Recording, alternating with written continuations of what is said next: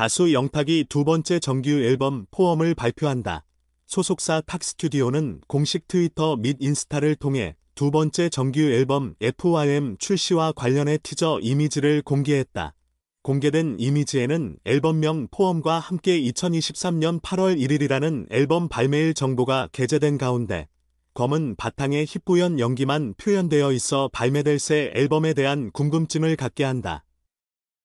영탁은 지난해 정규 1집 MMM으로 초동 52만 장이 넘는 판매고를 올리며 하프 밀리언을 달성했으며 서울 체조 경기장을 비롯해 전국 주요 도시를 강타한 단독 콘서트 탁쇼 TAKSHOW 로스타성과 브랜드 파워를 발휘한 바 있다.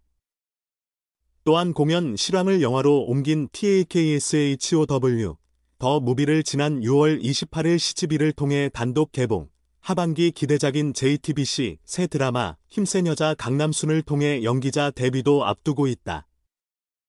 8월 말에는 탁쇼 2분 전국 투어 콘서트를 계획 중이다. 한편 영탁의 정규 2집 포엄은 8월 1일 각종 온오프라인을 통해 정격 공개될 예정이다.